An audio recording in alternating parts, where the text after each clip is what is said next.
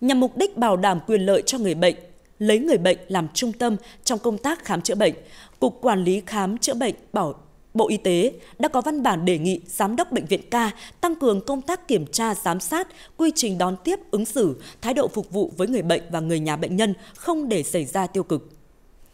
Đồng thời tuân thủ các quy định về cung cấp dịch vụ y tế tại bệnh viện, kịp thời phát hiện và xử lý nghiêm theo quy định các cá nhân vi phạm nếu có. Lãnh đạo Cục Quản lý Khám chữa bệnh cũng yêu cầu Bệnh viện ca khẩn trương giả soát, cập nhật và thực hiện nghiêm quy trình khám bệnh chữa bệnh tại bệnh viện theo các hướng dẫn quy định của Bộ Y tế. Tăng cường quán triệt, phổ biến các quy định về văn hóa, đạo đức công vụ của ngành y tế cho đội ngũ cán bộ, nhân viên y tế. Nâng cao ý thức kỷ luật, tác phong làm việc, chuẩn mực ứng xử, cũng như tinh thần thái độ phục vụ người bệnh và người nhà bệnh nhân tại bệnh viện.